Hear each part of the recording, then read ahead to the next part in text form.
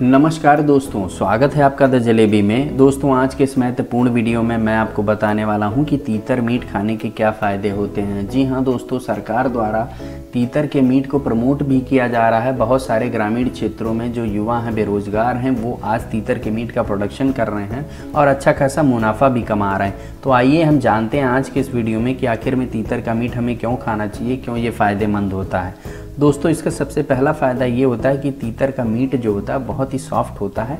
इसमें प्रोटीन की अच्छी मात्रा पाई जाती है। यानी कि यदि आपके शरीर में प्रोटीन की कमी है तो आप इसका सेवन अच्छे से करिए दोस्तों। मसल्स बनाने में बहुत ही ज़बरदस्त होता है तीतर का मीट। सप्ताह में अगर आप इसे दो बार खाते हैं, लगातार दो से तीन महीना तो फ़र्क आप नहीं, दूसरे लोग बताएँगे आपको कि ये कितना ज़बरदस्त है। दोस्तों, इसके अलावा तीतर के मीट का जो तीसरा, दूसरा फ़ायदा है वो होता है स्किन के लिए।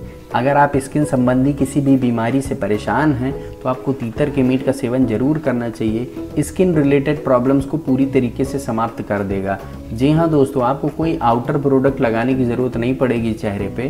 चेहरे पे किसी भी तरह की कोई क्रीम लगाने की ज़रूरत नहीं पड़ेगी। अगर आप तीतर मीट का सेवन करते हैं तो इससे आपकी स्किन में एक गजब का ग्लो रहेगा, गजब का उभार रहेगा, गजब का बाउंसीनेस रहेगा। तो स्किन में ग्लो लाने के लिए भी आप तीतर के मीट का सेवन कर सकते हैं दोस्तों।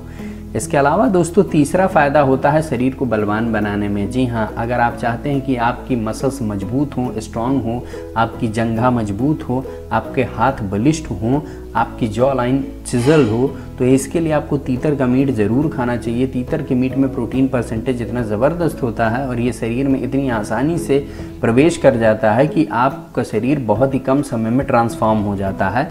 आप काफ़ी बलवान दिखने लगते हैं, मज़बूत दिखने लगते हैं, मसल्स उभर के आ जाती हैं।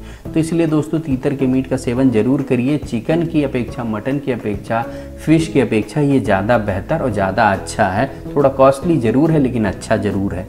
तो दोस्तों, बलवान बनाने में बहुत ही फ़ायदेमंद है। इसके अलावा दोस्तों, चौथा फ़ायदा होता है खास तौर से पुरुषों के लिए, जिन्हें नसों की कमज़ोरी हो गई है। जी हाँ अक्सर नसें स्थिल हो जाती हैं, गलत कार्य करते करते तो नसों को बेहतर करने के लिए, नसों में ब्लड के सर्कुलेशन को तीव्र करने के लिए तीतर का मीट बहुत अच्छा है।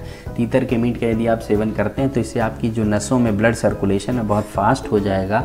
आपको बहुत सारी जो भी प्रॉब्लम है आपके प्राइवेट पार्ट की, वो पूरी तरीके से समाप्त हो जाएगी। आपके अंदर एक गजब की ऊर्जा, गजब की ताकत आपको महसूस होगी। तो इसलिए नसों की कमज़ोरी को भी दूर करने में तीतर का मीट बहुत फ़ायदेमंद है। सप्ताह में अगर दो दिन इसका सेवन किया जाए तो मात्र महीने भर के अंदर ही आपको रिज़ल्ट दिखना शुरू हो जाएगा। इसके अलावा दोस्तों, अंतिम और सबसे महत्वपूर्ण फ़ायदा आपके बाल और आँखों के लिए है। जी हाँ अगर आप चाहते हैं कि आपके बाल काले, घने, बढ़िया रहें और उसकी जड़ें मज़बूत रहें तो आपको तीतर का मीट ज़रूर खाना चाहिए। अगर आप चाहते हैं आपकी आँखें भी स्वस्थ रहें, तब भी आपको तीतर का मीट ज़रूर खाना चाहिए।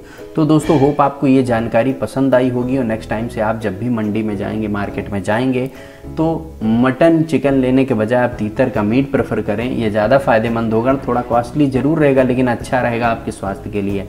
आज के लिए बस इतना ही। यदि वीडियो पसंद आया तो प्लीज़ लाइक ज़रूर करिए। धन्यवाद।